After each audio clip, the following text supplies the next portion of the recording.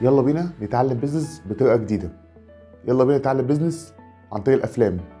لو أنت بتحب ال business والأفلام الحمد لله على السلامة في المكان الصح. الحمد لله على السلامة. أنت مع اورجامي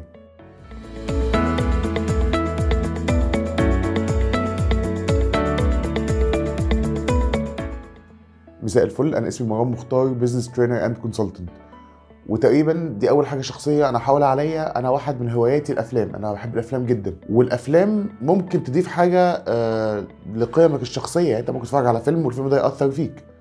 الفيلم ده أنت ممكن تبص عليه وتتعلم منه حاجة. هل بقى في أفلام ممكن تعلمك business قبل ما نخش في الحتة دي خلينا نقسم الأفلام اللي ممكن تعلمك business ل two categories واحد بيعلمك business business technical knowledge business مواقف. business قصص. business في ال industry دي الأفلام اللي هي مثلا بتتكلم عن البورصة أو أفلام بتتكلم عن ال... عن حاجة حصلت أو شركة أسست. لا دي حاجة business خام. في فيلم تاني درامي معمول ما بين ناس قاعدة تتناقش. الفيلم ده برضه أنت ممكن تتفرج عليه وتتعلم منه skill تفيدك في ال business تفيدك في ال corporate world أو في المجال المؤسسي أو تفيدك لو أنت حتى entrepreneur لو أنت راجل رائد أعمال. النوعين دول النهارده إحنا هنجيب كام فيلم ونبدأ نقول آه والله يا جماعة الفيلم ده إحنا ممكن نتعلم منه كذا وكذا وكذا يلا روحوا شوفوه. الفيديو ده مش آخر فيديو هنتكلم فيه الموضوع ده. يعني النهارده إحنا هنتكلم عن lucky number 7 أو هنتكلم عن سبع أفلام. السبع أفلام دول إحنا هنقول إيه اللي انت ممكن تعلمه منهم عشان تبدأ تشوف آه الفيلم ده أنا محتاج أتفرج عليه. وأزود نفسي في الحتة دي. إيه هم السبع أفلام؟ يلا بينا. فيلم رقم واحد Boiler Room يعني إيه boiler room الترجمه الحرفية ليها هتبقى الأوضة اللي فيها الغلايه الفيلم في منتهى الجمال لو أنت عايز تتفرج على حاجة تعلم تعلم منها sales sales skills أو office politics طيب واحدة واحدة. إيه الفرق؟ واحد يعني إيه sales باشا عالم المبيعات كله لو عايز تفهمه هتفهمه من الفيلم ده. طب اتنين sales skills Vin Diesel في الفيلم ده عمل عدد واحد مكالمة مخيفة. يعني إيه تمسك client من الأول تمشي بيه ال phases بتاعت المبيعات؟ تخليه يقول لك آه آه يلا أنا عايز اشتري منك. ده غير لما تفهم عالم المبيعات. ما هو أنت لما تكون فاهم عالم المبيعات فيه أو عارف تعيش جواه غير لما يكون عندك مهارات بيع. تالت حاجة إحنا قلنا عليها قلنا office politics يعني إيه office politics يعني حضرتك بقيت قادر تفهم إن مديرك ده طريقته عاملة إزاي فتعرف إزاي تأثر عليه.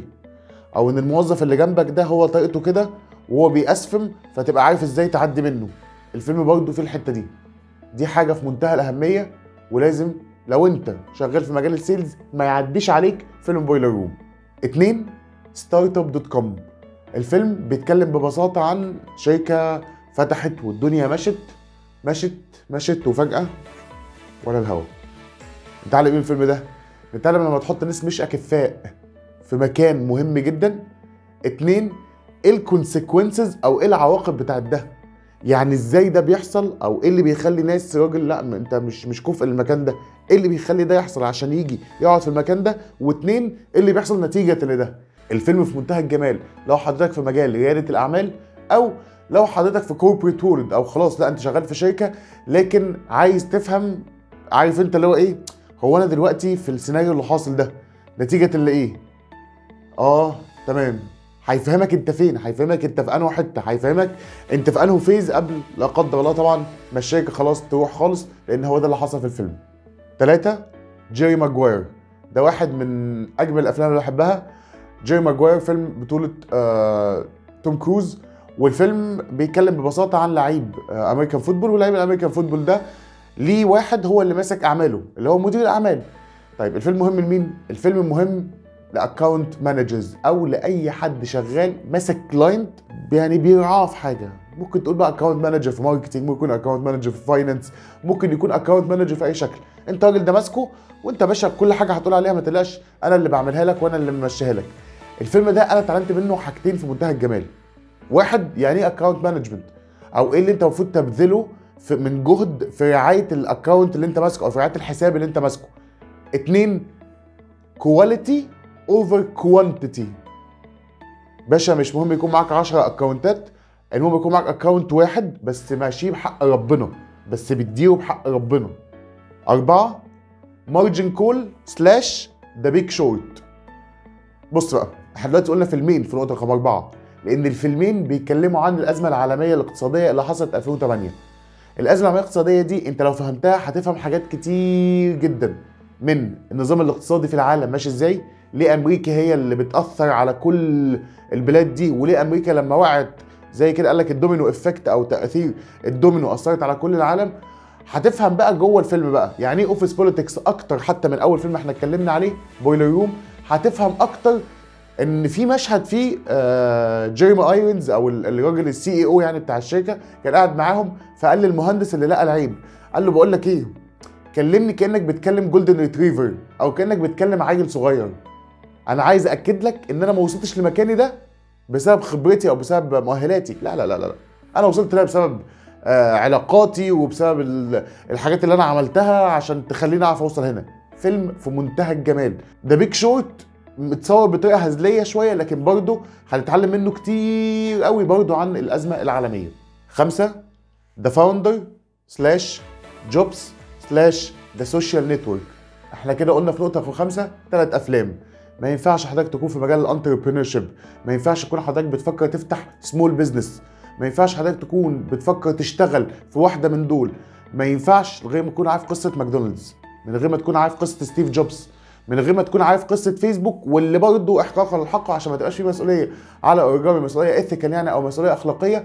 اللي طلع مارك زوكربيرج آه، ال- ال- ال- الراجل بتاع فيسبوك يعني وقال إن الفيلم خيالي قال إن الفيلم ده ما يمثلش قصة حياتي. لكن الفيلم ذات نفسه برضه بيتكلم في business كويس وبيتكلم في office politics كويسة وبيتكلم في partnership issues أو في علاقات ما بين الشركاء حصل إيه بالظبط. فالفيلم a must see لو حضرتك interested في مجال فتح ال business سواء ده startup أو سمول بيزنس ستة The Intern يعني إيه كلمة the intern دلوقتي لو أنت راجل لسه متخرج من الكلية أو في ثالثه أو في رابعة كلية بتروح شركة تقول طب يا جماعة أنا عايز حاجة كده إيه؟